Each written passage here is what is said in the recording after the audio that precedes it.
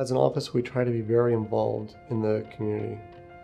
I'm on the board of, of the Clark County Youth Shelter, and we also try to support the, the local organizations in the area.